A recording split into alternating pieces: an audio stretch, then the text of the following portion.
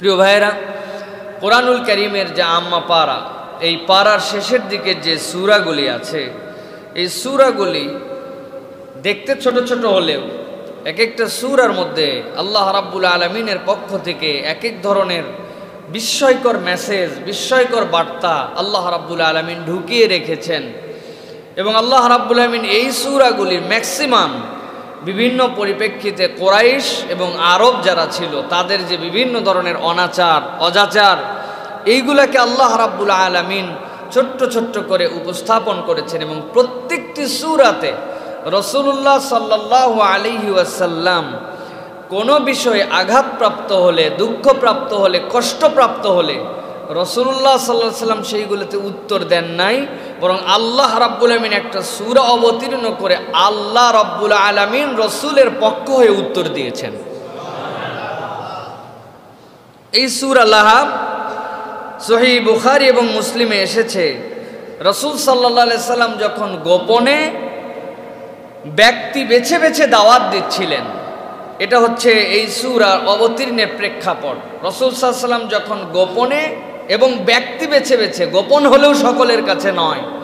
Targeted পিপলের কাছে তিনি যখন যাইতেন এবং দাওয়াত দিচ্ছিলেন, এমন সময় রসুল্লাহ সাল্লাহ সাল্লামের পরে একটি সুরা অবতীর্ণ হয়। সুরার কতকগুলি আয়াত অবতীর্ণ হয়। বুখারির মধ্যে আসছে, পবিত্র কোরআনের ২৬ নম্বর সুরা সুরা সোয়ারার দুইশো তেরো, চোদ্দ এবং পনেরো নম্বর আয়াত আল্লাহ রাব্বুল আমিন অবতীর্ণ করেন। আল্লাহ রাব্বুল আমিন রসুল্লাহ সাল্লা সাল্লামকে বললেন, ফালা তাদউ মা আল্লাহি ইলাহান আখার, ফাতাকুন মিনাল মুআযাবিন ওয়া আনজির আশিরাতাকাল আকরাবিন, ওয়াখফিদ জানাহাকা লিমান ইত্তাবাআকা মিনাল মুমিনিন। আল্লাহ রাব্বুল আমিন রাসূল সাল্লাল্লাহু আলাইহি সাল্লামকে বললেন, হে রাসূল, ফালা তাদউ মা আল্লাহি ইলাহান আখার, আল্লাহ ছাড়া ইলাহ হিসাবে ডাকার মতো আর কেউ নেই। সুতরাং আল্লাহ রাব্বুল আমিন ছাড়া ইলা হিসাবে যদি কেউ কাউকে স্বীকৃতি দেয়, হাজার অন্য পারপাসে সে আল্লাহকে রব বলুক, আল্লাহকে মালিক বলুক, খালিক বলুক, চক্ষুদাতা বলুক ইলা হিসাবে, উপাস্য হিসাবে একমাত্র আল্লাহকে স্বীকার না করলে তার ইমান আল্লাহর কাছে পরিত্যাজ্য, তার ইমান আল্লাহর কাছে গ্রহণযোগ্য নয়। কারণ কাফের মুশ্রিকরা আপনাদের কাছে এর আগেও আলোচনা করেছি তাদের কাছে যখন জিজ্ঞাসা করা হয়েছে কে আসমান জমিন সৃষ্টি করেছে? আবু জেহেল উৎপা সাহিবা লাভ দিয়ে বলছে আল্লাহ সৃষ্টি করছে। চোখ দেয় কে হায়াত দেয় কে মৃত্যু দেয় কে আল্লাহ। কিন্তু উপাস্য হিসাবে আল্লাহর সাথে অন্য কাউকে তারা শরিক করত। আল্লাহ রাব্বুল আমিন বলছেন, এই উপাসনার শরিক যে মানবে, বাকি বিষয়গুলো একটাও তার কাছ থেকে গ্রহণযোগ্য হবে না, পরিত্যাজ্য। আল্লাহ রাব্বুল আলামিন বলছেন, ফাতাকুনা মিনাল মুআজ্জাবিন যেই মানুষেরা আল্লাহ ছাড়া ইলাহ হিসাবে অন্য কাউকে মেনে নিবে, রসুল আপনি জানায় রাখেন, এই মানুষদেরগুলো কেবল পরিত্যাজ্যই নয়, তারা সবাই তখন আজাবের উপযুক্ত হবে। তার বাকি কোনো ক্রিয়াকর্ম আল্লাহর কাছে আর গ্রহণযোগ্য হবে না। আল্লাহ রাব্বুল আলামিন এরপরে ওয়াসাল্লামকে বললেন, ওয়া আনদিরা আশিরাতাকাল আকরাবিন আপনার জন্য প্রাইমারি দায়িত্ব দাওয়াতের শুরুর দায়িত্ব, আপনি যে ইলাহ যে বুঝাচ্ছেন আল্লাহ রাব্বুল আমিন ছাড়া আর কেউ নাই। এইটা আপনার জন্য কমনলি সকলের কাছেই বার্তা দেওয়ার আপাতত দরকার নাই। আপাতত আপনার নিজের যেই মানুষ, আপনার আপনজন, আপনার জ্ঞাতি, আপনার বংশ, এই বংশের কাছে এই বার্তাটা আপনি দেন এবং সতর্ক করেন। আল্লাহ রাব্বুল আলমিন বললেন, সাথে সাথে আপনার প্রতি আরেকটা দায়িত্ব আছে। আপনি যাদেরকে সতর্ক করবেন, যাদেরকে সতর্ক করার দায়িত্ব দেওয়া হচ্ছে, এদের মধ্যে থেকে যারা ইমান এনে ফেলবে, তাদের সাথে আপনার আচরণের ধরনটা একটু ভিন্ন হবে। আল্লাহ বলছেন, ওয়াকফিদ জানা হাকালিমানিত্তাবা মিনাল মুমিনিন। হে রসুল, আপনার যে দুইটা হাত আছে, আপনার যে দুইটা পাখা আছে আল্লাহ রসুলের কি পাখা আছে নাকি? কিন্তু আল্লাহ রাব্বুল আমিন বলছেন, একটা মুরগি, একটা পাখি যেরকম তার সন্তানদেরকে বিপদ দেখলে, আপদ দেখলে নিজের ডানাগুলা মেলে দিয়ে বুকের মধ্যে ধরে রাখে, আপন করে রাখে। কর্ডিয়াল নিউরিশিং যেটা আমরা বলি, যে এত আন্তরিকভাবে তাদের দেখভাল করে। আল্লাহর নবীকে বলা হচ্ছে, আপনি আপনার আপনজনের কাছে দাওয়াত পৌঁছাবেন। আর যারা ইমান এনে ফেলবে, আপনার জন্য দায়িত্ব হচ্ছে তাদেরকে আপনার বুকের মধ্যে আগলায় রাখবেন। সুবহানাল্লাহ আল্লাহ রসুল সাল্লাহ আলাইসাল্লামের প্রতি যখন এই আয়াতে কারিমা নাজির হলো নাজিল হওয়ার পরে রসুল সাল্লাহ আলাইসাল্লাম একদিন সাফা পাহাড়ের উপরে উঠলেন। সাফা পাহাড় যারা মক্কাতুল মোকাররামায় হজে গিয়েছেন বা উমরায় গিয়েছেন, তারা জানবেন কাবা ঘরের যেই পাশে দরজা, কাবা ঘরের দরজা হচ্ছে পূর্ব পাশে। আমরা যে কিবলা পশ্চিম দিকে, আমাদের সামনে কিন্তু কাবার যে দিক, সেটা হচ্ছে কাবার দরজার দিক। এই পাশেই হচ্ছে মাকামে ইব্রাহিম ইব্রাহিম আলাইসালামের ঘর। এই কর্নারেই হচ্ছে হাজরে আসওয়াদ। তো রসুল্লাহ সাল্লা সাল্লাম এই কাবার পূর্ব দিকে একটা পাহাড় আছে, খুব কাছাকাছি। সেই পাহাড়ের নাম হচ্ছে জাবালে আবু কুবাইস সাফা পাহাড় সরি সাফা পাহাড়। এই সাফা পাহাড়ের মধ্যে রসুল্লাহ সাল্লা সাল্লাম একদিন উঠে দাঁড়ালেন। উঠে দাঁড়ানোর পরে রসুল সাল্লাহ আলাইসাল্লাম সবাইকে ডাক দিলেন, একদম সকালবেলা, ইয়া সবাহ। আরবের মানুষের রীতি ছিল যে যখন কোনো বিপদ যখন কোনো কঠিন অবস্থা দাঁড়াতো, সেই সময়ে সেই মানুষগুলি, ইয়া সবাহাহু বলে মানুষদেরকে সতর্ক করতো এবং মানুষদেরকে ডাক দিত। যখন রসুল্লাহ সাল্লাহ আলিহি ওয়াসাল্লাম এই ডাক দিলেন, এই ডাক দেওয়ার পরে রসুল সাল্লাহ আলাইসাল্লামের এই ডাক শুনে অন্যান্য যারা আরবের লোকজন ছিল, তারা দেখল যে কেউ একজন ডাকছে এরকম করে। চেহারাটাও দেখে মোহাম্মদ রসুল্লাহ আসলামকে তারা চিনত।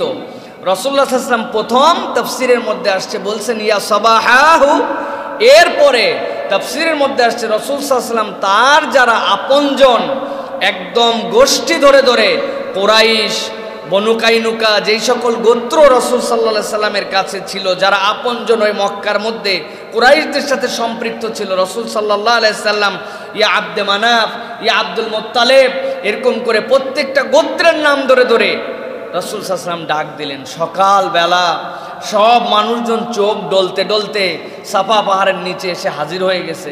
সব মানুষ হাজির। রসুল সাল্লাহ সাল্লাম বলছেন, আমাকে তোমরা নিশ্চয়ই চেনো। সবাই বলব চিনবো না কেন? তোমাকে অবশ্যই চিনি। বলে, তোমরা আমাকে বিশ্বাসী হিসেবে স্বীকার করো। সবাই বলেছে, বিশ্বাসী হিসাবেই তোমাকে স্বীকার করি।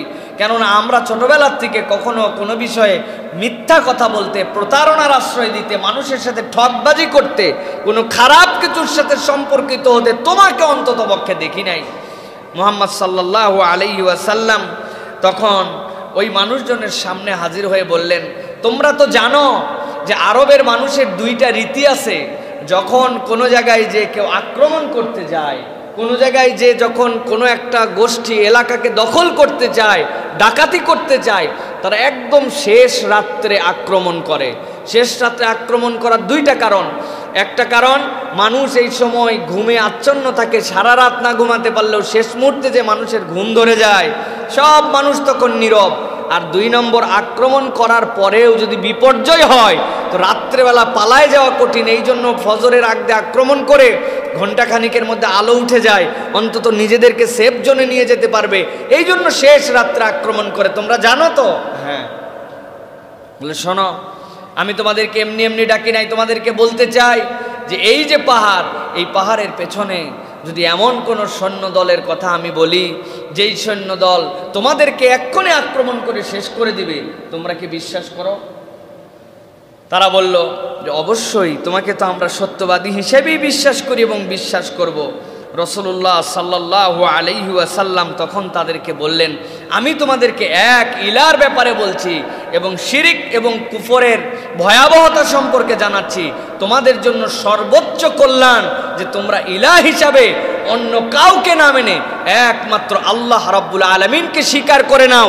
এই জন্য আমি তোমাদেরকে বলছি, পাহাড়ের পিছরের ভিজিবল যে সৈন্য, এর থেকেও তোমাদের এই হুকুম না মানলে এর থেকেও বড় তোমাদের জন্য বিপদ আছে। এই সতর্কতার জন্য আমি তোমাদেরকে ডেকেছি।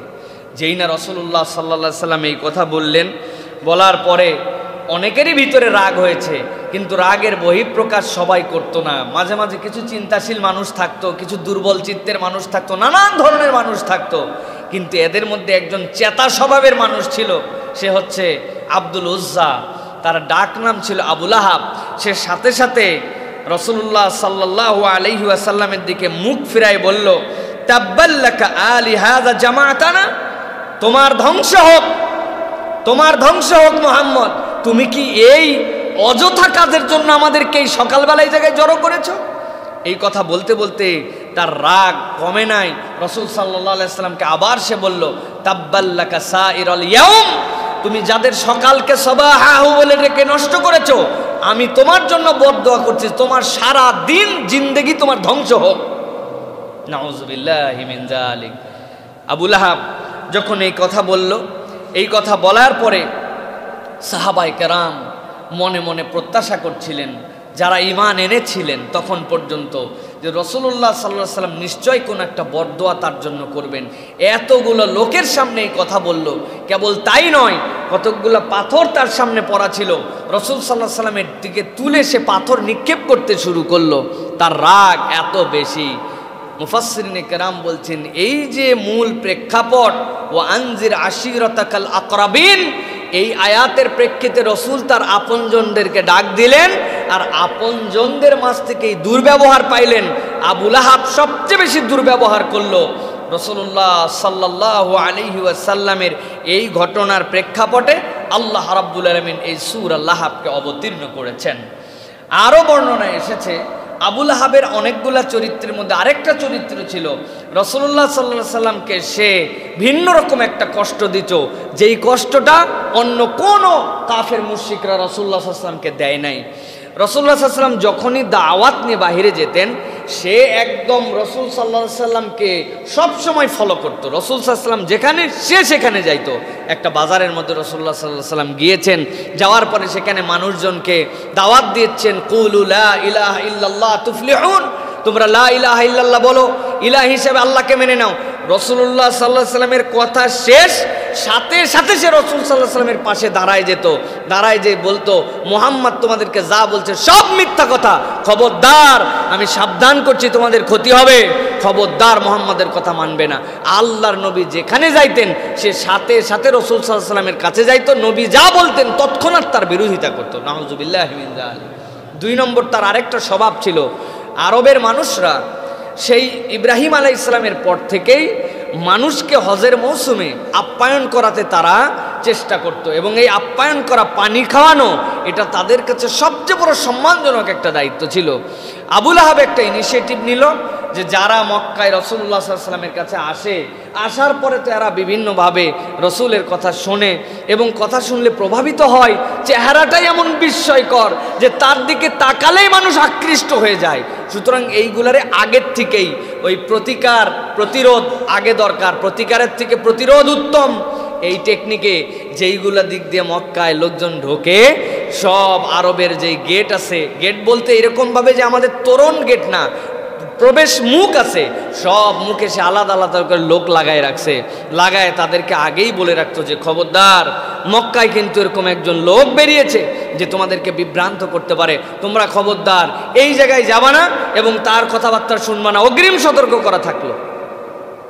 আমার তো মনে হয় যদিও তফসিরের ভাষা ওইভাবে আসে নাই, কিন্তু রসুল্লাহ সাল্লাহ আলী সাল্লামকে এবং তার কাছ থেকে যখন এই মানুষগুলোকে সতর্ক করা হতো, এর মাঝে হয়তোবা বা ফিফটি পার্সেন্ট মানুষ যারা রসুল্লাহ সাল্লামকে আগে চিনতো বা মক্কা এরকম একজন মানুষ এসেছেন, একটা দাওয়াত নিয়ে এটা জানতো, কিন্তু বাকি ফিফটি পার্সেন্ট মানুষ সবাই তো জানতো না। কিন্তু তাদের প্রতিনিধি দল যখন এটা জানাতো, তখন হিতে বিপরীত হইতো, যে জানতও না, সে চিন্তা করতো, এত কাল লোক পানি খাওয়াইছে, খেজুর খাওয়াইছে, এখন দেখি একজন লোকের থেকে সতর্ক করে। আর যাই হয় হোক ভাই, এবার ওই লোকটা অন্তত না দেখে যাব না। আল্লাহ রাব্বুল আলমিন এই টেকনিকে এই কাজটা যে করতো, সে ছিল আবুল আহাব, তার মধ্যে একদম লিডার সে একদম প্রত্যেককে ব্যক্তিগত পর্যায় পর্যন্ত যে নিষেধ করত, এ হচ্ছে তার চরিত্র ছিল। আল্লাহ রাব্বুল আমিন এই সকল বিষয়কে সামনে রেখে সুরা লাহাবকে অবতীর্ণ করেন। সুরা লাহাবের তিনটি নাম পাওয়া যায়। দেখবেন কতগুলো মাসাফের মধ্যে সুরা মাসাদ বলা আছে, সুরা লাহাব বলা আছে তাব্বাতিয়াদা হিসাবেও আছে। আমাদের দেশে আমরা তাব্বাতিয়াদা বা লাহাব হিসাবে চিনি, কিন্তু কোরআনুল করিমের মধ্যে দেখবেন সুরা মাসাদ লিখা আছে। মাসাদ নামে আসেছে প্রত্যেকটাই কোরআনুল করিমের এই সুরার কোনো না কোনো শব্দ থেকে নিয়ে সুরার নামকরণ করা হয়েছে। তবে অতি পরিচিত একশো এগারো নম্বর সুরা সুরা লাহাব হিসাবে আমাদের কাছে। আসেন আমরা এবার আয়াত বাই আয়াত কোরআনুল করিম আল্লাহ রাব্বুল আলমিন এই সুরার মধ্যে আমাদের জন্য কি শিক্ষা দিয়েছেন আমরা একটু জেনে নেওয়ার চেষ্টা করি। আল্লাহ রাব্বুল আলমিন বলছেন তাব্বাতিয়াদা আবিল হাবি আল্লাহ রাব্বুল আলামিন যখন রসুল্লাহ সাল্লামকে আবুল আহাব বলতে শুরু করল ইয়া তাব্বাল্লাকা তোমার সারাদিন ধ্বংস হোক, তোমার ধ্বংস হোক। আল্লাহ রব্বুল আলামিনের উত্তর দিচ্ছেন। আল্লাহ রাব্বুল আলামিন বলছেন, তাব্বাত ইয়াদা আবি লাহাবি ওয়া তাব। মুফাসসিরিনে কেরাম বলছেন এইটুকু বললে আল্লাহর পক্ষ থেকে যথেষ্ট। শেষের তাপ শব্দটা আল্লাহ কেন যুক্ত করলেন? মুফাসিররা বলছেন, আরবির ব্যাকরণে যখন যে বিষয়টিকে দিয়ে সামনে নিয়ে আসা হয়, যে বিষয়ের প্রস্তাবনা দেওয়া হয় ওইটার মাজদারের রূপ যদি আবার শেষে আসে, তাইলে বোঝা যায় এইটা কেবল প্রস্তাবনা নয়, বরং এইটা কবুল হয়ে গেছে, মঞ্জুর হয়ে গেছে। আল্লাহ বলছেন তাব্বাল্লাকা তাব্বাত ইয়াদা আবি লাহাবি ওয়া আবু যে আবুল আহাবের কেবলমাত্র ধ্বংসই নয়, আমি আল্লাহ বললাম, তার ধ্বংসটুকু যে করা হবে, আল্লাহ মোহাম্মদ সাল্লামকে তার প্রতিশ্রুতিও দিয়ে দিলেন। ইয়াদা শব্দ ব্যবহার করার কারণ কি? আল্লাহ রব্বুল আলমিন ইয়াদা শব্দ ব্যবহার করেছেন, মুফাসসিররা তার দুইটা ব্যাখ্যা করেছেন। একটা হচ্ছে আবুল আহাব যখন আল্লাহ নবীর সাথে কথা বলছিল, তখন তার হাতটাকে উদ্যত করে বলছিল, মোহাম্মদ, তোমার ধ্বংস হোক। আল্লাহ রব্বুল আমিন ওই হাতের দিকে মুখাতেব করে বলছেন, তোমার হাতটাও ধ্বংস হোক। আর দ্বিতীয় তাফসির কারকরা বলছেন, কোনো একটা সহ্য বীর্য, কোনো একটা বিষয়ের বড়ত্ব বোঝানোর জন্য তার হাতকে বোঝানো হয়। বলে, শোন, আমার একটা চাকরি দরকার, তোর কি কোনো মন্ত্রণালয়ে হাত আছে নাকি? কয়, আমার দুই হাত তো আমার হাতের সাথে লাগানো মন্ত্রণালয় আবার হাত থাকবে কেমন? কয়, না, এই হাত মানে কেবল এই ফিজিক্যালি হাত না, এই হাত মানে পাওয়ার ঠিক কিনা? আল্লাহ রাব্বুল আলামিন বলছেন, যেরকম কোরআনুল কারীমের মধ্যে আরও উদাহরণ আছে, বিমা কদ্দামাত ইয়াদাক। আল্লাহ রাব্বুল আলামিন বলছেন, বিমা কাসাবাত আইদিন নাস। মানুষ যার হাত দিয়ে যা কামাই করে, তার হিসাব আল্লাহর কাছে হবে। তার মানে এই আইদ মানে কেবলমাত্র বাহ্য হাত নয়, বরং মানুষ তার প্রভাব প্রতিপত্তি মেধা খাটায় যে কামাই করে এটাকে ইয়াদ বলা হয়। আল্লাহ বলছি না আমি আবুল হাবকে কেবল ধ্বংসই করব না, আমি এমনভাবে ধ্বংস করব আর এমন তার বিপর্যয় ঘটাবো। এই বিপর্যয় মোহাম্মদ সাল্লা সাল্লামের সাথে বেয়াদবি করার কারণে আল্লাহ বলছেন, তাকে দেখায় দেওয়া হবে তার সৌর্য বীর্য বাহাদুরি, তার ওই ফিজিক্যাল সৌন্দর্য কোনোটাই আল্লাহর কাছে এমনভাবে অগৃহীত, এমনভাবে ঘৃণিত, যে এইগুলার সব ধ্বংস কবুল করে নেওয়া হয়েছে। রসুল, আপনি আপনার হায়াতেই এইটা দেখে দুনিয়ার থেকে বিদায় নিবেন। আল্লাহ আকবার। ইবনে আব্বাস রাদিয়াল্লাহু তাআলা বলছেন, আল্লাহ রাব্বুল আলামিন মুহাম্মদ সাল্লাল্লাহু আলাইহি যেটা বলেছেন, সেই বলাটা আল্লাহ রাব্বুল আমিন তার মুখ দিয়েই বের করে নিয়েছিলেন। কারণ ইবনে আব্বাস রাদিয়াল্লাহু তাআলা বলেন, যেইটা এই ব্যক্তির জন্য ঘটবে, আল্লাহ রাব্বুল আমিন তাপ বলে সেটা রসুলকে ইশারা দিয়েছেন, হে রসুল, এই ঘটনাটা আপনার হায়াতের মধ্যে আল্লাহ দেখায় দিবেন কারণ কি? কারণ হচ্ছে তার আরেকটা ছিল, আল্লাহ নবী যখন ওইখানে যাওয়ার পর শিরিকের ভয়াবহতা বললেন। কেয়ামতের দিনে বিপদের কথা বললেন, কেয়ামতের ময়দানে আপনি যদি মুশ্রিকিন হয়ে উঠেন, তাহলে আজাবের ভয়াবহতা আল্লাহ নবী যখন বর্ণনা করলেন, আবুল হাব তখন গর্ব করতে বলতে শুরু করল তাব্বাল্লা কুমা মা রাফি কুমা সাইয়াম মিম্মা কলা মুহাম্মদ। ও আরবের লোকেরা, আমি তো আমার এই দুই হাত দিয়ে মোহাম্মদ যা যা বলছে তার কিছুই তো দেখি না। অনেক দিন তো হলো তার দাওয়াতের বয়স। অনেক দিন ধরেই বলে যাচ্ছে, হ্যান হবে, ত্যান হবে। এই হবে, সেই হবে, কিন্তু আমি আমার মা আরাফিয়া দিক, আমি আমার নিজের হাতের মধ্যে তো কিছুই এরকম দেখি না। তোমরা যা বলো। ইবনে আব্বাস বলছেন, সে যে হাত দেখাই বলছিল, মোহাম্মদ আজাবের ক্ষেত্রে যা যা বলে তার কিছুই দেখি না। আল্লাহ তাব্বাতিয়াদা আবি লাহাব বলে বুঝাইছেন, বেটা, তুমি যেই হাতের বড়াই দেখাচ্ছ, আমি আল্লাহ ওই হাতকে কেমন করে চূর্ণ বিচূর্ণার অভিশাপ দিতে পারি? তুমি তোমার হায়াতেই আবুল আহাব সেইটা দেখে যাবা। নাউজুবিল্লাহ। এখানে মুফাসিররা আরেকটা কথা বলেছেন আবুল আহাবের মূল নাম তো আবুল আহাব নয়। আবুল আহাব তো তার কুনিয়ার তার মূল নাম ছিল আব্দুল উজ্জা। আবুল আহাব কেন বলা হতো? আরবের মধ্যে মোহাম্মদ সাল্লাহ সাল্লামের পরে যদি কোনো ব্যক্তি ওই কোরাইশদের মধ্যে থেকে সবচেয়ে সুদর্শনধারী হয়, অন্যতম সুন্দর একটা দেখতে হয়, আর এই সৌন্দর্যের বিভিন্ন ক্যাটাগরি হয়, তার সৌন্দর্যটা ছিল ভিন্ন রকম। লাহাব মানে আগুনের স্ফুলিঙ্গ। আপনি কোনো একটা চুলা জ্বালিয়েছেন, চুলা জ্বালানোর পরে নিচের অংশটুকু দেখতে পাবেন আপনি কালো, এরপরে একটা আগুনের কালার আছে, তারপরে ফ্লেমটা যখন উপর দিকে উঠে যায়, সেইটার মাথার থেকে আবার ধোঁয়া অথবা কালো অংশ ধারণ করে। কিন্তু এই নিচে আর উপরের মাঝের যে অংশটুকু, এটা হচ্ছে আগুন কালার, না কমলা, না লাল, না সিঁদুরে, কেমন জানি একটি কালার। এই কালার এই ফ্লেমটাকে আরবিতে বলা হয় লাহাব। আবুল হাব এমন সুদর্শন, এমন দেখতে, তার চেহারাটাই এমন আগুনে চেহারা ছিল। চেহারার দিকে তাকাইলে বোঝা যাইতো এই ব্যক্তিটা সকলের থেকে আলাদা। আল্লাহ রাবুল এই জন্য তার নামকে ব্যবহার করেন নাই। ব্যবহার না করে তার কুনিয়াতকে ব্যবহার করে বলেছেন, যেই সৌন্দর্য যেই রূপ যে শৈষ্ঠব তুমি দেখতেছো, আল্লাহ বলছেন, তোমার ওই রূপ ও শৈষ্ঠব সহ আল্লাহ রাব্বুল আলমিন মোহাম্মদ সাল্লা ইসলামের সাথে বেয়াদবি করার কারণে পুরোটুকুকেই ধ্বংস করবেন। আল্লাহ রাব্বুল আলমিন এরপরের আয়াতে কারিমার মধ্যে বলছেন, এই যে আবুল আহাব, যে আবুল আহাব তার এই অপকর্মের কারণে মোহাম্মদ সাল্লা সাল্লামের সাথে বেয়াদবি করার কারণে যে আচরণ তার সাথে করা হলো, এইটার পরিণতিটা কেমন করে আল্লাহ রসুল দেখেছিলেন ইতিহাসকে সাক্ষ্য দেয়? বদরের যুদ্ধে চলে গেল, কাফের মুশ্রিকরা ঘোষণা দিয়ে গেছে, এবার একদম বিনষ্ট করে শেষ করে দেওয়া হবে, মদিনা ধ্বংস, মোহাম্মদ আসলামের সাথী যারা ছিল সকলকে ধ্বংস করে দেওয়া হবে।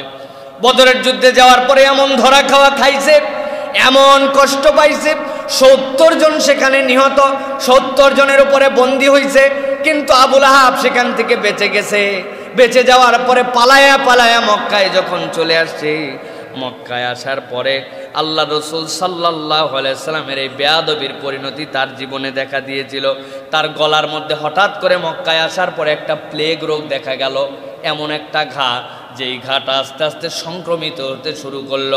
তাফসিরের ভিতরে আসছে, সাত দিনের মধ্যে তার এমন অবস্থা হলো, নিজের বাড়ির লোকজন তাকে বলল না, এই রক্ত অন্যদের মধ্যেও সংক্রমিত হয়ে যাবে, একে বাড়িতে রাখা যাবে না। উটের পিঠনে বেঁধে নিচে একটা বস্তার মতো কিছু দিয়ে তার উপরে উঠাই দিয়ে দূরের থেকে দড়ি লাগাই দিল। দড়ি লাগাই দিয়ে মরুভূমির দিকে পুরা তারায় দিল। আবুল আহাবকে একটা উঁট নিয়ে যে মরুভূমির মধ্যে রেখে দিয়ে আসলো। পরিবার পরিজনের সকলের সম্মিলিত সিদ্ধান্ত, এরে রাখা যাবে না কিছুদিন পরে দেখা গেল, তার হাত থেকে শুরু করে তার প্রত্যেকটা অঙ্গ প্রত্যঙ্গ পচন ধরতে শুরু করল। তখনও তার জীবন যায় নাই। মানুষ গায়ের গোস্ত, তার গায়ের সব কিছু আস্তে আস্তে খসে পড়ে যায়। আস্তে আস্তে তার অপসকল, অকল অকল হয়ে যায়, তার বিকল হয়ে যায় সব কিছু সর্বশেষ যখন খবর পাওয়া গেল, তার আর কোনো রুহ নাই। তারপরেও কেউ তাকে দাফন করতে পর্যন্ত যায় না। তার কতগুলো দাস দাসী ছিল, বাধ্য করা হলো তাদেরকে। তারা যাওয়ার পরে অনেক কষ্ট করে কোনো এক জায়গায় গর্ত করে সেই জায়গায় তাকে মাটি চাপা দিয়ে রাখল। আল্লাহ রাব্বুল আমিন অনেক আল্লাহর নবীর বিরোধিতাকারী ছিল, ইসলামের বিরোধিতাকারী ছিল, কিন্তু আল্লাহ আবুল আহাবের মাধ্যমে কেয়ামত পর্যন্ত অনাগত আল্লাহর নবীর বিরোধিতাকারীদেরকে একটা সতর্ক করেছেন। ইসলাম নিয়ে আপনি কটুক্তি করেন, আল্লাহ রাব্রেমেন অনেক সময় তাদেরকে ছাড় দিয়ে রেখে দেন আপনি ইসলামের বিধিবিধান নিয়ে অনেক কটুক্তি করেন, ছাড় দিয়ে রেখে দেওয়া হয়। কিন্তু কেউ যদি আল্লাহ রসুল সাল্লাহ সাল্লামকে নিয়ে কটুক্তি করে, তার চরিত্রে কালিমা লেপনের কথা বলে, আল্লাহ নবীর কোনো কথাকে মিথ্যা প্রতিপন্ন করার চেষ্টা করে, আল্লাহ নবীর পরিবার, আল্লাহ নবীর আখলাক নিয়ে কেউ যদি কোনো রকম বাজে মন্তব্য করে, দুনিয়ার বুকে আল্লাহ রাব্বুল আমিন তাকে কেয়ামত পর্যন্ত ভুগায় ভুগায় মারবেন।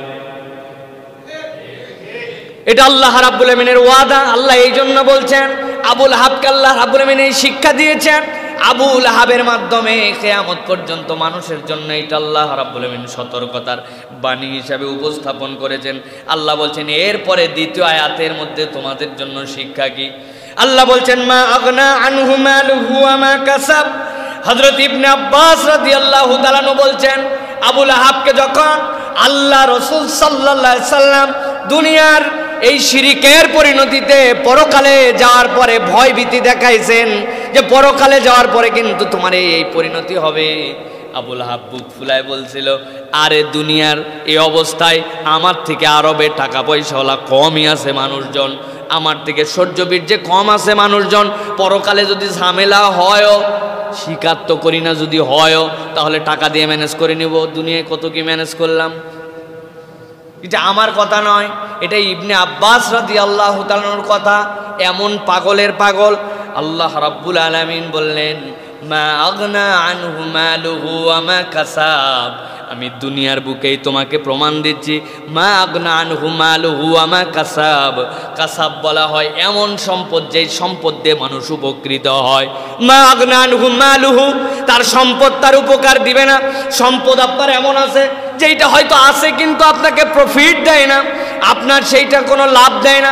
আপনার একটা বিশাল বাড়ি আছে যেখানে আপনি থাকেন। হয়তো থাকতে টাকা লাগে না, কিন্তু ওই বাড়িতে থাকার কারণে ওইটা ভাড়াও দিতে পারেন না, ওখান থেকে আপনি টাকা পান না, আপনার খাওয়ার কামাইয়ের জন্য, আপনার খাবারের জন্য অন্য কোনো জায়গায় কামাইয়ের চিন্তা করতে হয়। বাড়ি ভাড়া লাগে না, তার মানে আপনার খাওয়াও লাগে না, এরকম নয়। ওটাকে বলা হয় গানি সম্পদ, কিন্তু কাসাব এমন সম্পদ যেটা আপনাকে খাওয়ায়, যেটা আপনাকে দেয়। এই জন্য আরবি শাস্ত্রে বলা হয়, প্রত্যেকটা সন্তান ও পিতামাতার জন্য কাসাব। হাদিসের পরিভাষায় আসছে ও ইন্না ওয়ালাদাহু মিন কাসবিহি মানুষের নিজের হাতের কামাই সর্বোত্তম, আর জেনে রাখো তার সন্তানও তার কামাই। আপনি আপনার সন্তানকে দুনিয়ার বুকে আল্লাহ রাব্বুল আমিনের দেওয়া নিয়ামত দিয়ে যে বড় করে রেখে যেতে পারেন, এটাও আপনার জন্য কামাই, এটা আপনাকে উপকার দিবে। কীভাবে উপকার দিবে? আপনার মৃত্যুর পরে আপনার জন্য আপনার সন্তান সবচেয়ে বড় আমানত। এইটা যদি সত্যি সত্যি ওয়ালাদুন সলে হয়, আপনার সন্তানের হাত তোলা লাগবে না। আপনার সন্তান যদি সৎভাবে জীবনযাপন করে, কবরে শুয়ে শুয়ে তার সৎ জীবনযাপনের সোয়াবের ভাগিদারও পিতামাতা হয়ে যাবে। আল্লাহ রাব্বুল এই জন্য বলছেন, বড়াই করেছিলে, তুমি নাকি টাকা পয়সা দিয়ে ম্যানেজ করে নিবে? কিন্তু আমি আল্লাহ দেখাচ্ছি, মা আগনা আনহু মালুহু আমা কাসাব। ও আবু জেহেল এবং আবু জেহেলের বংশের যা যারা আসাবুল হাফসা তোমাদের জন্য আমি আল্লাহ হারাবুল আমিন বললাম, তোমার তো সন্তান ছিল অনেকগুলা। তোমার পরিবার ছিল বিশাল, তোমার ধন সম্পদের কোনো অভাব ছিল না। কিন্তু তোমার যখন এই রোগ হলো, এই রোগের পরে পারিবারিকভাবে বৈঠক হলো, আরে আর বাড়িতে রাখা যাবে না। নিজের সন্তানরা তারে মরুভূমিতে ফেলে দিয়ে আসছিল, নিজেরা তারা দাফন পর্যন্ত করে নাই। তাদের যারা পাইক পেয়াদা ছিল, তাদেরকে দিয়ে মাটির মধ্যে গেতে দিয়ে আসছে। আল্লাহ বলছেন, বড়াই করো না, মা আগনা আনহু মালুহু ওয়া মা কাসাব। তুমি যে সম্পদ এবং তোমার যে উপকারী ধন আছে, এটা দিয়ে কামাই করবে, উপকার করবে এই রকম কোনো চিন্তা করো না।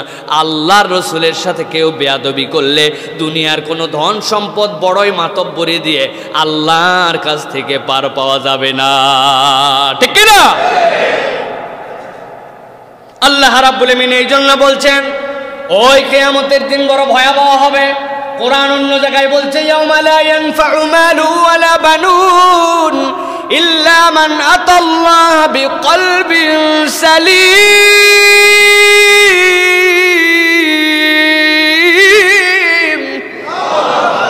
ও দুনিয়ার মানুষ তোমার কত সম্পদ, তোমার কত পাওয়ার, কত দাপট, কত মাতব্বরি দুনিয়ার বুকে হ্যান ত্যান করে ফেলতে পারে। হুজুররা একটুখানি কথা বললে ইচ্ছা করলে গলা ঠাইসে ধরা যায়, তাই না? পাওয়ার আছে, ক্ষমতা আছে, বেটা। বানুন। আল্লাহ বলছেন, দিন একটা এই দিন দিন নয়, আরও দিন আছে। ওই দিন যাওয়ার পর আল্লাহর সামনে দাঁড়ানো লাগবে। তোমার কতটুকু ক্ষমতা ছিল, তোমার কতটুকু সম্পদ ছিল, কত বছর ধরে তুমি মাতব্বরি করেছিলে, কতটা বছর ধরে তোমার ক্ষমতার আখড়ায় তুমি দাপট দেখিয়েছিলে। আল্লাহ বলছেন, এইগুলো একটাও তোমার জন্য কাজ দিবে না। কি বলে কাজ দিবে না? আমি দুই তিনটা গার্মেন্টসের মালিক, চার পাঁচ হাজার লোক আমার আছে অধীনে। দুই তিন কোটি টাকা করে প্রত্যেক মাসে বেতন দেয়, কাজ তো দিবে না। আল্লাহ বলছেন, একটাও তোমার জন্য কাজ দিবে না। তবে শর্ত হচ্ছে সবগুলা কাজ দিবে একটা শ্বাসের মধ্যে, তোমাকে আসা লাগবে। আল্লাহ বলছেন ইল্লামানাতাল্লাহ হাবি কলবিন সালিম। ইমানদারের এক বিন্দু জিনিসও নষ্ট হবে না। কোন ইমানদার রাস্তায় চলতে চলতে পায়ের নিচে একটা কাঁটা বিঁধে গেছে, ইস! এইটুকু যে শব্দ সে করেছে, আল্লাহ রসুল বলছেন, এইটাও তার কাজ দিবে, কে বলল কাজ দিবে না? সেখানে সম্পদ তো কাজ দিবেই, আপনার তো এই পাওয়ার, আপনার সব কিছুই কাজ দিবে, কিন্তু কাজ দেওয়ার শর্তটা কি? ইল্লামান আতাল্লাহ কলবিন সালিম। আপনি যদি আল্লাহর কাছে মুসলমান হিসাবে আসতে পারেন, আপনার সব কিছুই আল্লাহর কাছে কাজ দিবে। ঠিক কি না আপনার সন্তান কাজ দিবে, আপনার সম্পদ কাজ দিবে। আপনি বিরাট বড় প্রতিষ্ঠানের মালিক ছিলেন আপনি ইমান নিয়ে চলে গেছেন, আপনি নিয়ত করছিলেন, কেবল আমি খাই না। আমার আল্লাহ আমাকে যে সম্পদ দিয়েছেন, সেখান থেকে আমি ব্যয় করি, জাকাত দেই, দান করি। আমার দায়িত্বশীল অংশে যারা আছে, আমার মাধ্যমে আল্লাহ তাদের রিজিকের ব্যবস্থা করেন, তাদের পরিবারগুলো সুন্দর করে চলে। আপনার যদি এই ইমান থাকে, আপনার যদি মুসলমান হিসেবে আল্লাহর কাছে যাওয়ার সুযোগ হয়ে যায়, আল্লাহর কাছে আপনার সব সম্পদ সব কিছু কাজ দিবে। কিন্তু আপনি যদি ইমানদার হিসাবে, মুমিন হিসাবে, আল্লাহর কাছে আত্মসমর্পিত হিসাবে হাজির না হতে পারেন, আপনার ধন সম্পদ একটুকু কাজে আসবে না। ঠিক কিনা আল্লাহ রাব্বুল আলামিন এই জন্য বলছেন, মা আগনা আনহু মালুহু আমা কাসাব। তোমার সম্পদও কাজ দেয় নাই, তোমার যা উপকারী মনে করছিল, আরে কিছু না হলেও আমার সন্তান তো আছে। আমার মৃত্যুর পরে আমার সন্তান অন্তত আমারে যেরকমই হোক একটু আদর করে, স্নেহ করে কবর দিবে। আল্লাহ বলছেন, সেইটারও সুযোগ দেওয়া হয় নাই। মরুভূমির মধ্যে ফালায় রেখে এসেছিল পারিবারিক সিদ্ধান্তে, দুনিয়ার মানুষ শিক্ষা নাও। আল্লাহ রসুল বিরোধিতা করলে তোমাদের এই পরিণতি করার মতো যোগ্যতা আল্লাহ রাখেন। আল্লাহ রাব্বুল মিন এরপরে বলছেন আল্লাহ রাব্বুল মিন বলছেন অচিরে আবুল হাবকে আগুনের লেলিহান শিখার মধ্যে ঢুকানো হবে। আল্লাহ রাব্বুল আলামিন এখানে জাত লাহাব যেটা বলেছেন, ওই লাহাব আবুল হাবের নামের সাথে মিল রেখে আল্লাহ এই জায়গায় উপস্থাপন করেছেন। সায়াসলা যারা আরবি গ্রামার জানেন কৎসিন সাউফা মুজারের আগে এসে একদম কাছাকাছি অর্থ দেয়। আল্লাহ বলছেন, বেশি সময় লাগবে না। মুবাসিররা বলছেন, এখানে আল্লাহ সায়াসলা কেন বললেন? বলার কারণ হচ্ছে, পৃথিবীর মানুষ যেন সাবধান হয়ে যায়। পৃথিবীর মানুষ ওই কেয়ামতের ময়দানে হাসরের দিনে যে বিচার হবে, সেটা তো হবে, কিন্তু নিজের কৃতকর্মের অপরাধ। ওই মানুষগুলার জন্য যে হায়াতটা যখন শেষ হয়ে কবরের হায়াত তার শুরু হবে। কবরের হায়াত মানে এরকম নয় কেবল যে মাটিতে পুঁতলেই কবর, মৃত্যুর পরের হায়াতটার নামই কবর। এমনও তো মানুষের খবর আমরা শুনেছি যেই মানুষকে কবর দেওয়া হয় নাই, সমুদ্রের মধ্যে নিয়ে ফেলে দেওয়া হয়েছে, শোনেন না এরকম? যেই মানুষের লাশ খুঁজে আর পাওয়া যায় নাই, বিমান সহ হারায় গেছে, কোথায় গেছে, আজ পর্যন্ত খুঁজে পাওয়া যায় নাই। ওরে কবর দিল কে? আমাদের হিন্দু যারা আছেন, তারা তো নিজেদের লাশগুলাকে একদম পুরাই একদম শেষ করে দেয়। তারা তো কবরই দিল না, তাদেরটা গেল কোথায়? তার মানে এই কবরটা আক্ষরিক অর্থে নিলে কবর যেটা গ্রেভ সেটা ঠিক আছে, কিন্তু এই হায়াতটার নাম হচ্ছে আপনার যেই না মৃত্যু হয়ে গেল, আপনার রুহ বেরো হয়ে গেল, আপনার অবস্থা যেটাই হোক না কেন, আপনার জিন্দেগিটা সেইটা কবরের জিন্দেগি শুরু হয়ে গেল। আল্লাহ রাবুল বলছেন সাইয়াসলাহাব তার জন্য ওই হাসরের ময়দানের বিচার, তারপরে জাহান্নাম, সেটা তো হবেই। তবে কবর থেকেই তার জন্য আজাব শুরু হয়ে যাবে। আর ওই আজাবটাও হচ্ছে লেলিহান অগ্নি শিখার আজাব আল্লাহ নবীর হাদিস থেকে আমরা জানতে পারি আপনারা সকলেই কম বেশি জানেন। কবরে যখন যাবে, যাওয়ার পরে মানুষগুলা যদি আল্লাহ এবং তার রসুলমুখী হয়, যেই তিনটি প্রশ্নের কথা বলা হয়, এই তিনটি প্রশ্নের সাথে কিন্তু আরেকটি প্রশ্নের আছে আপনার রবকে আপনি শিখেছেন, আপনার দিনকে আপনি জেনেছেন? আপনার নবীকে আপনি জেনেছেন? কিন্তু ওই ব্যক্তিকে এই সঠিক উত্তর দেওয়ার পরে একটা কথা জিজ্ঞাসা করা হবে যে, কেমনে তুমি এইগুলা জানলে ভাই? সে তখন যে উত্তর দিবে ওটাই হচ্ছে মূল কথা, যে আমি কেবলমাত্র এইগুলা শুনি নাই, আমি বরং এইগুলার উপরে সত্যায়ন করেছিলাম, আমি এইগুলাকে বিশ্বাস করেছিলাম এবং আল্লাহ যা বলেছেন তা মেনেছি, মোহাম্মদ সাল্লামের নির্দেশিত পথে চলেছি। আমার যে দিন ইসলাম, ইসলামের নির্দেশিত পথে চলেছি। কেবল জানছি আল্লাহ আমার রব, কেবল জানছি মোহাম্মদ আমার নবী, আর আমার দিন ইসলাম এইটুকুই নয়, বরং তার জাবিদ বিধান ছিল এটা আমি এইটাকে সদ্দাক্তু, আমি এইটাকে সত্যায়ন করেছি এবং তার উপরে আমল করেছি। তারা তখন বলবে হ্যাঁ তুমি সঠিক বলেছ। এই আমল করা এবং বিশ্বাস করার কারণে আজকে তুমি তোমার উত্তর দিতে পেরেছ। এই কথা যখন তার মুখ দিয়ে বেরিয়ে যাবে, আল্লাহ রাব্বুল আমিন জান্নাত থেকে তার জন্য একটা দরজা উন্মুক্ত করে তার কবর, তার হায়াতের যে কবরের জিন্দেগি, সেইখানে আল্লাহ তার শান্তির ব্যবস্থা করবেন। আর উত্তর যদি ভুল হয়, আল্লাহ রাব্বুল আমিন তার জন্য জাহান জাহান্নামের আজাবটারও যে আঁচ, সেইটা তার কবর থেকেই শুরু করে দিবে আল্লাহ এই জন্য বলছেন, এই জায়গাতে জাত লাহাব লাহাব আবুল লাহাবের পুরা নাম না বলে আল্লাহ রাব্বুল আমিন বলছেন, তোমার চেহারাটা যেরকম অগ্নি স্ফুলঙ্গের মতো, এই জন্য লোক লাহাব বলে, আমি আল্লাহ দেখব, আমার জাহান নামের অগ্নি স্ফুলিঙ্গটা কেমন পাওয়ার তুমি অচিরেই দেখতে পাবে। মোহাম্মদ সাল্লা সাল্লামের সাথে বেয়াদবি করার কারণে আল্লাহ আবুল আহাবের জন্য সে একটা বদোয়া করেছিল, তাব্বাল্লাকা সাইর আলিয়াউম তোমার সারাদিন ধ্বংস হোক আল্লাহ মুহাম্মদ আসলামের সাথে বেয়াদবি করার কারণে আবুল আহাবের চার ধরনের বদোয়ার উত্তর দিয়েছেন। আল্লাহ আকবার। অনুভব করার জায়গা এগুলো রসুল্লাহ সাল্লা সাল্লামের কাছে এইটুক বলল, আল্লাহ বললেন, তার হাত ধ্বংস হোক, তার মাল ধ্বংস হোক, তার বংশধর ধ্বংস হোক কবরের মধ্যে তাকে আজাব দেওয়া হবে। সবগুলার শেষে প্রথমে আল্লাহ বলে দিয়েছেন তাব্বাতিয়াদা আবিলা হাবিও এই তাব মানে কবুলকৃত, এইগুলো এরকম না প্রস্তাবিত। বদোয়া করার জন্যই করা নয়। আল্লাহ বলছেন, তোমার জন্য এগুলোর গ্যারেন্টার আমি আল্লাহ হলাম। কারণ তুমি মোহাম্মদ সাল্লামের সাথে বেয়াদবি করেছ। নাউজুবিল্লাহ হিমিন্দা আল্লাহ রাবুল এরপরে বলছেন ওয়ামরাতুহু হাম্মালাতাল হাতাব। ওয়ামরাতুহু মানে তার স্ত্রী। তার স্ত্রীর নাম হচ্ছে উম্মে জামিল।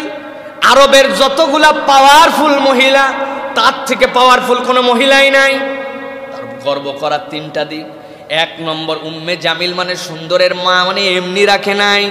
এত সুন্দর। মুফাসসিরিনে কারাম তাফসিরে বলতেছেন, আরবের বুকে তৎকালীন মক্কাতে তার থেকে সুন্দরী মেয়েই ছিল না।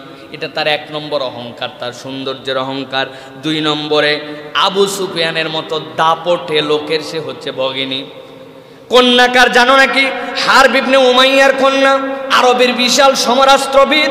হার বিবনে উমাইয়ার কন্যা আবু সুফিয়ানের ভগিনী আবুল হাবের স্ত্রী নিজের সৌন্দর্য, তার পাওয়ার, তার দাপট দেখে কে যে রাস্তায় যাইতো, মাথা নিচু করে ফেলতো মানুষ। এমন পাওয়ারফুল একজন মহিলা। আল্লাহ বলছেন আর আবু জেহেলের স্ত্রীর জন্য আমি আল্লাহ রাব্বুল আলামিন বললাম, তার জন্য পরিণতিটা কি হবে? তার জন্য পরিণতি হচ্ছে সে যেরকম আগুনের অগ্নিকণ্ডে নিক্ষেপের জন্য আগুনের মধ্যে কাঠ দেওয়ার পরে যেরকম শুষ্ক কাঠ জ্বলে ওঠে, সে তো রসুল্লাহ সাল্লাহ সাল্লামকে কষ্ট দেওয়ার জন্য চেষ্টা করত। আল্লাহ বলছেন, তার এই কষ্ট দেওয়াতে সে স্বামীকে সাহায্য করত। রসুল্লাহ সাল্লামকে সবচেয়ে বড় যে কষ্ট দিত, আরবের কেউ এই কষ্ট দেয় নাই। রসুল্লাহ সাল্লামের নাম ছিল মোহাম্মদ। কিন্তু এই উম্মে জামিল রসুল্লাহ সাল্লামকে বলতো মুদাম্মাম। নাউজুবিল্লাহ। মুহাম্মদ মানে সর্বাধিক প্রশংসিত আর মুদাম্মাম মানে হচ্ছে কুৎসিত। রসুল নিজে বলছেন, উম্মে জামিল, এই কথা বলার দ্বারা বরং ভালোই হয়েছে কারণ আরবের সব লোক জানে মোহাম্মদ সাল্লাম প্রশংসিত। সে যে একটা মিথ্যা কথা বলে, তার মুখ দিয়ে এইটা প্রমাণ হয়ে গেছে। কিন্তু আল্লাহ নবীকে এই কথা বলে আজ পর্যন্ত আর কেউ কষ্ট দেয় নাই যেটা উম্মে জামিল দিত। আল্লাহ রাব্বুল আমিন এই জন্য বলছেন ওমরাতু হাম্মালাতাল হাতাব সে তো অগ্নিকাণ্ডে আগুন নিক্ষেপ করতো, আগুন জ্বালাইতো। আল্লাহ রসুল সাল্লা সাল্লামের এই কষ্ট দেওয়াকে আল্লাহ রাব্বুল হাতাবের সাথে উদাহরণ দিয়েছেন। কিন্তু ইবনে আব্বাস ইকরামা, অন্যান্য সাহাবা ইকরাম বলছেন, না, এটার একটা আক্ষরিক অর্থ আছে। আল্লাহ নবী যেই রাস্তায় যেতেন আরবের বুকে বাবলার যে গাছ হইতো, বাবলার কাঁটাটা মানুষ দেখতে পেত না। কত ক্ষেত্রে এত সূক্ষ্ম থাকতো, আল্লাহ নবী যেন কষ্ট পান, তার অন্তরটা এত বিদুষী ছিল, এত তার অন্তরটা নষ্ট ছিল, খারাপ ছিল, যে আল্লাহ নবীর চলার পথের মধ্যে সেই রকম কাঁটা ফেলে রাখতো, যাতে রসুলের পায়ের মধ্যে এটা বিদে কষ্ট পায়। আক্ষরিকভাবে এইটার অর্থটা অনেক মুফাসিনে কেরাম নিয়েছেন। এই জন্য রসুল্লাহ সাল্লা সাল্লামের এই অপরাধ করার কারণে আল্লাহ কেবল আবুল আহাব নয়, তার স্ত্রীর কথাও বলেছেন, হাম্মালাতুন খড়ি বাহক সে খড়ি নিয়ে আসতো। এই খড়ি মানে কাঁটার খড়ি অনেকে বলেছেন।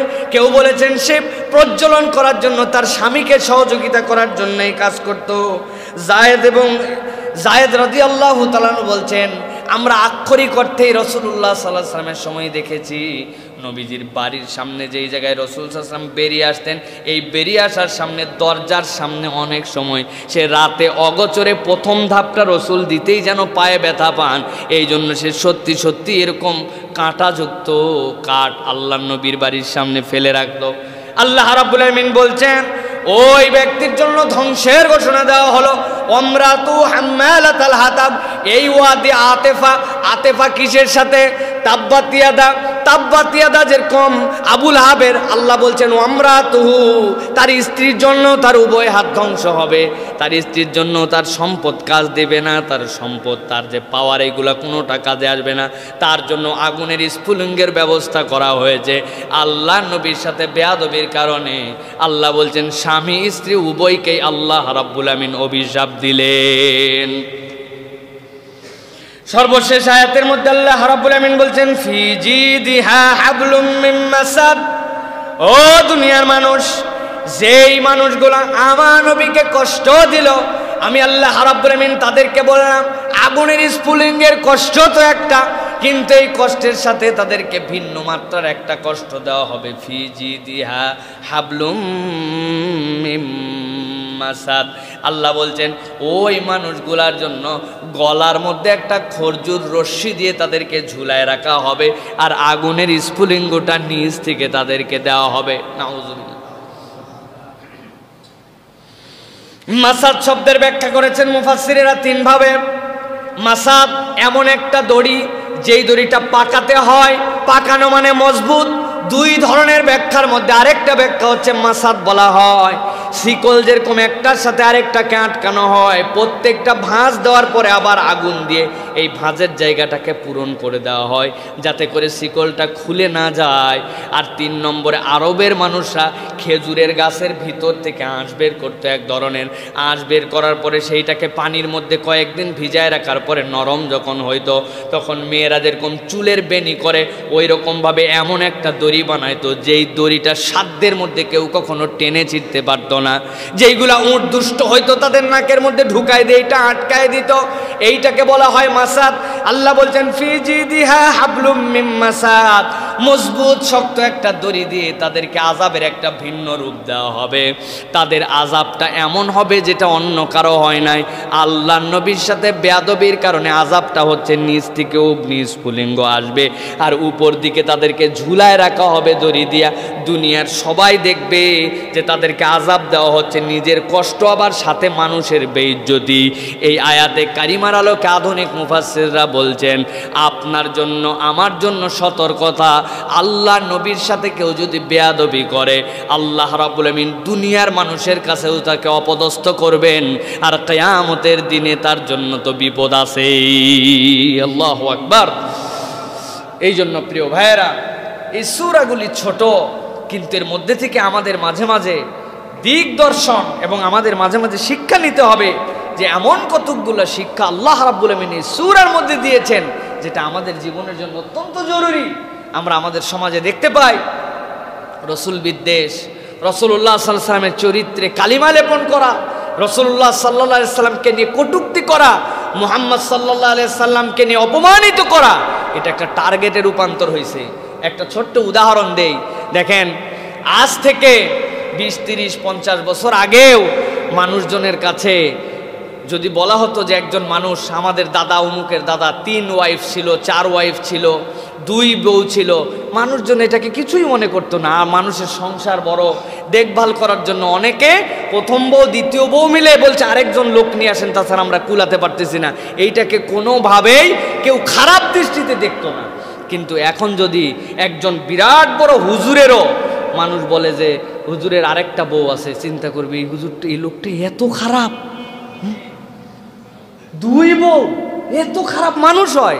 এটা কাদের কালচার এটা রস, এটা কালচার হচ্ছে ইহুদি, নাসারা সহ ইসলাম বিদ্বেষীদের স্লো পয়জনিং আস্তে আস্তে বলতে বলতে বলতে বলতে এমন একটা জায়গায় নিয়ে আসছে যে যখন আপনার আমারটা বলবে হ্যাঁ?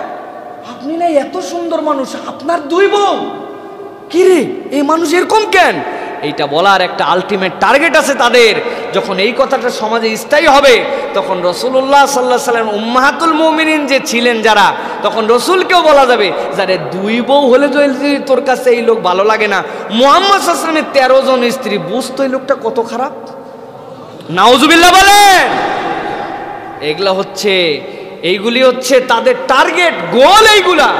এইভাবে মানুষের মধ্যে থেকে রসুল্লাহ সাল্লামের প্রতি যে ভালোবাসা, রসুল্লাহ সাল্লামের প্রতি যে মায়া, কলিজার মধ্যে যে টান, একটু হলেও মুসলমানদের অন্তরের মধ্যে, আসলে আমি আসলে বুঝি না, কিন্তু তাও কথা একদমই অযৌক্তিক নয়। এরকম কথা নেক্সট জেনারেশনের মধ্যে ঢুকায় দেওয়ার জন্য এই ধরনের এজেন্ডা নেওয়া হয়। আপনাকে বুঝাইছে, যুদ্ধ খুবই খারাপ, যুদ্ধের ভয়াবহতায় আজকে অবস্থা, সেই অবস্থা, আর জিহাদ ইরি বাবারে নাঙ্গা তলোয়ার নিয়ে আক্রমণ করে মানুষকে শেষ করে দিবে ধরের থেকে কাল্লা আলাদা করে দিবে। কি পরিমাণ এটা জেনোসাইড কি পরিমাণ এটা অমানবিক, মানবতা বিরোধী এটা আপনাকে বলতে বলতে বলতে বলতে এখন মুসলমানের মধ্যেও জিহাদ শুনলেই ভিতরে, না, আসলে সবই বলা যায়, হুজুর এই ওয়াজটা করেন না। তাই না? কে? কি বলেন? এটা যখন আপনার মধ্যে আসবে যে হুজুরের মুখ থেকেই শুনতে চান না, তখন রসুল্লাহ সাল্লা সাল্লামের জীবনী যখন পড়বেন, তখন দেখবেন রসুল্লাহ সাল্লাম গাজোয়া আছে রসুল্লাহ সাল্লাহ সাল্লামের যুদ্ধ আছে রসুল্লাহ সাল্লামের হায়াতে জিহাদ আছে রসুল্লাহ সাল্লামের জীবনে সারিয়া আছে। এইগুলা বর্ণনা বলে, মোহাম্মদ সাল্লাম এত যুদ্ধ করল। না, আসলে আমার বুঝে ধরে না, ঠিকই আছে কিন্তু মনে হয় এইভাবে রসুল্লাহ সাল্লাহ সাল্লামের উপর থেকে প্রীতি, ভালোবাসা এবং টেকনিক্যালি তার প্রতি একটা ঘৃণা জন্মান, জন্মানোর এজেন্ডা দুনিয়াব্যাপী চলমান। এই জন্য প্রিয় ভাইয়েরা খুব সতর্কতার সাথে রসুল্লাহ সাল্লামের শান এবং মান এবং রসুল্লাহ সাল্লাহ সাল্লাম সংক্রান্ত যে সুরা, এইগুলা মাথার মধ্যে বুঝে নিতে হবে, ঢুকায় নিতে হবে। ইসলামের একটি বিধানও অমূলক নয়। ইসলামের কোদো কোনো বিধানকে নিয়ে কটুক্তি করার অধিকার তো কারও নাই, বরং আমাদেরকে এই জিনিসগুলো নিজেদের জীবনে রিয়ালাইজ করতে হবে, নিজেদের এই বার্তা ছড়াতে হবে। ভাই, আপনি যদি আপনার নিজের বিষয় না জানেন, আপনার কাছে নিজের এই কনসেপ্ট যদি আপনার কাছে পরিষ্কার না থাকে তা আপনি তো নিজের জায়গা থেকে এইটা অন্যের কাছে প্রস্ফুটিত করতে পারবেন না। এই জন্য আমি বলব আপনাদের কাছে বাচ্চাদের হাতে সব কিছু তুলে দেওয়ার আগে রসুল্লাহ আসলামের সিরাত তুলে দেন। তাদেরকে বাধ্য করেন, ঘরে ঘরে পুরস্কার দেন তাদের জন্য যে রসুল্লাহ আসলামের এই সিরাতের বই তোমাকে দিলাম, তোমাকে দশ হাজার টাকা গিফট করব। দশ হাজার টাকা। আপনার যদি টাকা বেশি থাকে আরও টাকার অফার দেন। আপনার যদি কম থাকে, আপনি সেভাবে তাকে অফার দেন। কিন্তু একটা অফার দেন। তোমার জন্য কি চাই? এক বছর মেয়াদ, তিন মাস মেয়াদ, ছয় মাস? এই বই দিলাম। আর রাহিকুল মাকতুম পড়ো। নবীজি যেমন ছিলেন আমার রসুল, পড়ো। তারপরে কত ধরনের নবীজি?